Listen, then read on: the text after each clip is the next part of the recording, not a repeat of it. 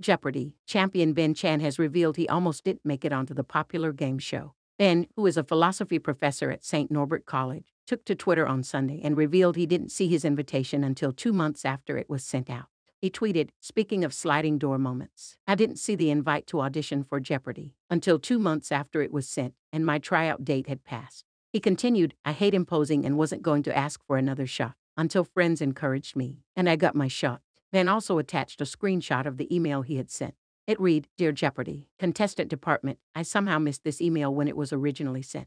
Is there any chance that I'm still eligible for upcoming gameplay auditions? Many thanks, Ben Chan. Jeopardy! Fans were quick to reply to Ben's tweet as one person wrote, I am glad your friends encouraged you. Another person said, I could see myself doing that accidentally and my friends encouraging me the same way. Your friends seem like amazing people. I'm sorry you missed your first audition. A third fan commented, I got a lot of satisfaction watching you end games on clean, even numbers. My new favorite contestant ever. I'm confident that you would have set new records if that stupid Benedick blunder hadn't happened. We got you in Tournament of Champions, though, they added. Jeopardy! Viewers were shocked last week when Ben's nine day run came to an end due to host Mayim Bialik's incredibly harsh ruling. Ben was deemed incorrect on an otherwise on the money final Jeopardy response that came down to just one wrong letter. Ben faced Lynn DiVito, a retired museum educator from Colorado Springs, Colorado, and Danny Lesserman, a policy communications manager from Rancho Palos Verdes, California. Ben, who is from Green Bay, Wisconsin, is able to boast of being the first Jeopardy contestant ever to come out of the gates with nine consecutive runaway victories. Having nine insured wins by Final Jeopardy is such a rare feat that fans were not expecting him to go anywhere anytime soon. Ben had returned to the game show earlier this month after bowing out of his streak due to contracting COVID 19 in episodes that aired in April, which is why some fans were also confused to see him back.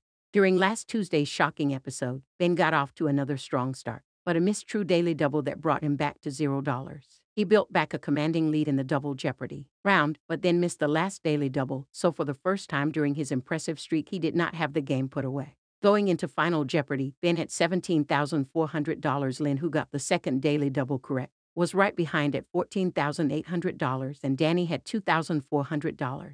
Host Mayim remarked, Lynn is indeed within striking distance, before presenting the suddenly crucial last clue. Unfortunately, that's incorrect.